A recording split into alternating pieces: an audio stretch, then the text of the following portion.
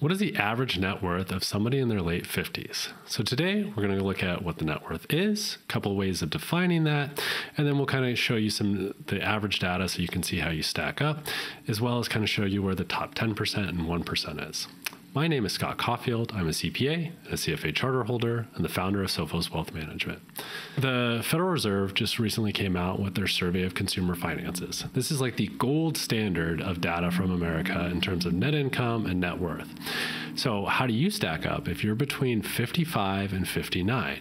So, let's look at two different ways. One is the mean, which is probably not the best. Mean would be if I took 100 people and I said, What's the average net worth of these 100 people?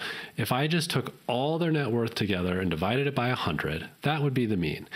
Now, that's going to be disproportionately impacted by those high earners. You know, what if my 100 people included Jeff Bezos?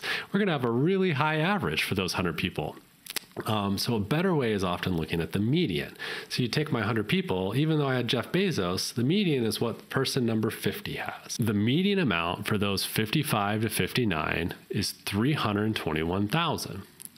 Now, the mean, much higher because it's impacted by those high earners or those high net worth individuals, is 1.4 million. Pretty big discrepancy there, but these are kind of interesting numbers, seeing how you kind of stack up. You know, those late 50s is a time when a lot of people are at the peak of their career, they're in some of their highest earning years, and they're really starting to think about retirement and plan towards that.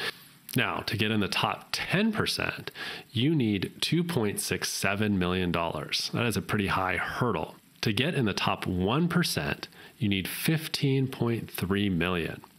Now, keep in mind with all these, uh, it's kind of fun to see where you're at, but how much you need is really going to be so unique to your situation. How much are you earning? How much are you saving? What do you project your future spending in retirement to be? What are kind of some of your goals and needs? Um, so there's a lot more planning that goes into it than just how much do I have. Uh, but I really encourage you to check out my website and like this video and subscribe to this channel. Thanks a lot.